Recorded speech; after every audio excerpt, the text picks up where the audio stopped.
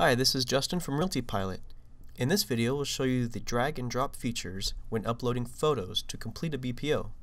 This feature is best used with Chrome or Firefox browser. When you're on your Photos page, you have the option to drag images from your folders to the main window, or you can choose Browse to your images. If you're on Internet Explorer, click the box below the trash icon to upload more than one photo at a time.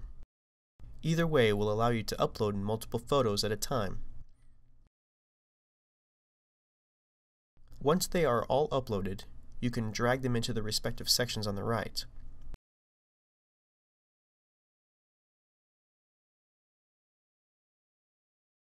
If you need to, you can scroll down to the desired section and the images will scroll with the page, allowing you to easily select them.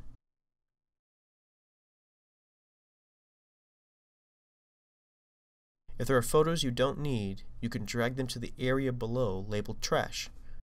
Any boxes with a red highlight means it's required to complete your uploads. When you're done, hit the Complete button at the bottom. Thanks for watching the video. If you have any further questions, you can join our live chat support on our website. And thanks for choosing Realty Pilot.